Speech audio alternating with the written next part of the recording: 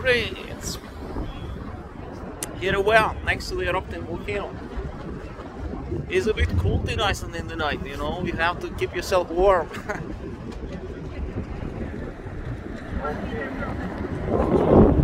we are so close to the crater that is simply unbelievable what you what we are witnessing today. It's very reminiscent of Fagradalsfjall in 2021 when we could come so close to the vein then as well. The same today in 2023. I could never have ever imagined that I will witness something similar again and in less than two years. It's and especially in this location where nobody expected it to erupt. The nature is so unpredictable, just as our lives and and everything in this life.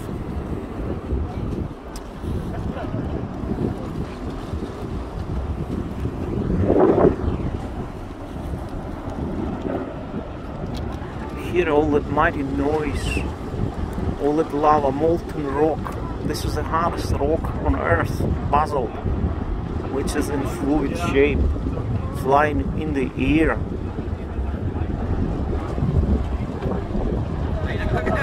They took some samples uh, from and terrain and also from Venus, and it appears to be basalt on both Venus, Mars. There is basalt on the moon. This is the same thing here in Iceland.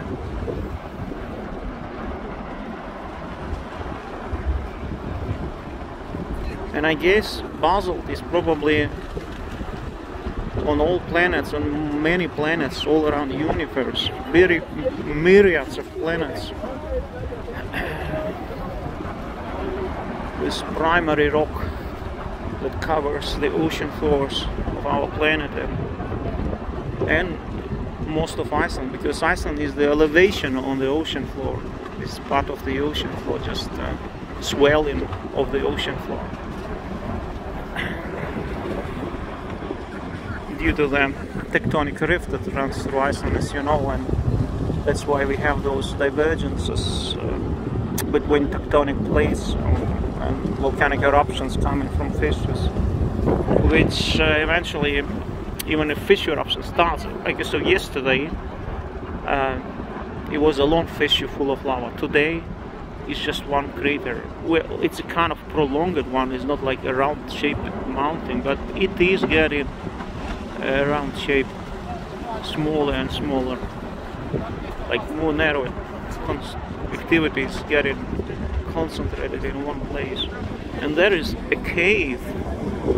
There is a cave there look. Uh, you can't see well from the, from the camera but there is a cave there and it's a kind of lava shooting shooting inside of that cave. So weird this place is the most weird place on earth right now. I can tell you. This is so unbelievable. Special. It's hard to believe I'm on earth, really.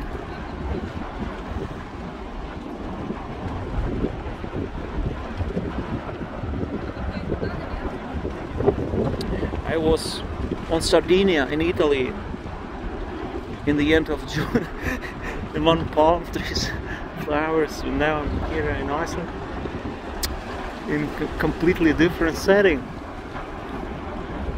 Unimaginable setting. You don't see this so often. In some places on Earth, like in Europe, there was no volcanic eruption in Germany or Poland for one million years, you know. Here it's every year in Iceland.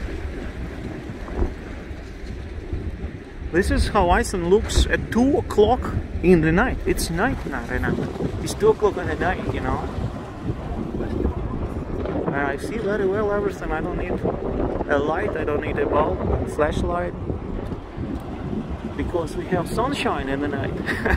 Not really sunshine, but daylight.